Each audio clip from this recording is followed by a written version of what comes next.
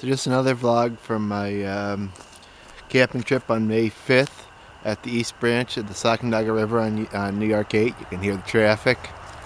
Uh, truck cap camping. Uh, nice weather. It's been about, uh, I think about 65, 70 degrees today. Leaves are just starting to come out a little bit. Um, no black flies, which is really nice.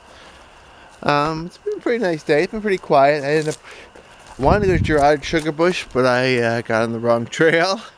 So I ended up deciding to hike uh, through Griffin and then over to the other side of Auger Falls, the side that people never go to. And uh, that was really nice. Yeah, I'll take a look around the campsite. I made burritos because it is uh, Cinco de Mayo and I have uh, bottles of Corona I've been drinking. Not too much, just a little bit. And uh, yeah, just kind of got camp set up, just the usual. Uh, camp stove's working well. Yeah, I kind of got organized dirty clothes and the garbage and stuff. Burn garbage just in a plastic bag down there. The new lantern, or the new globe and lantern really makes it shine brighter. That I think the, the new mantlets too. Uh, yeah.